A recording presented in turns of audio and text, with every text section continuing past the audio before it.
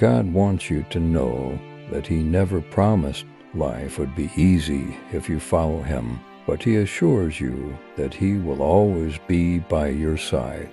You will go through everything together. It won't be easy, but you will come out stronger. When you talk to Him, be honest. Tell Him when you're angry, stressed, or scared. He wants to hear your true feelings. It's okay to feel angry, afraid, or confused, and it's okay to share those feelings with them. Pause and think before you react. If you want a better relationship with God, start saying no to evil. The closer you are to sin, the farther you are from Him. God is making everything new, and His love for you has no limits. Everything is working together for your good. You are not forgotten or abandoned by Him.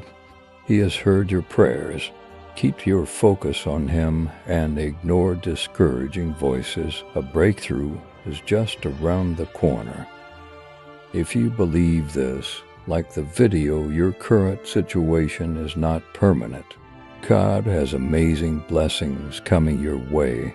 He will exceed your expectations and bring sudden positive changes to your life. Write Amen if you believe in Christianity.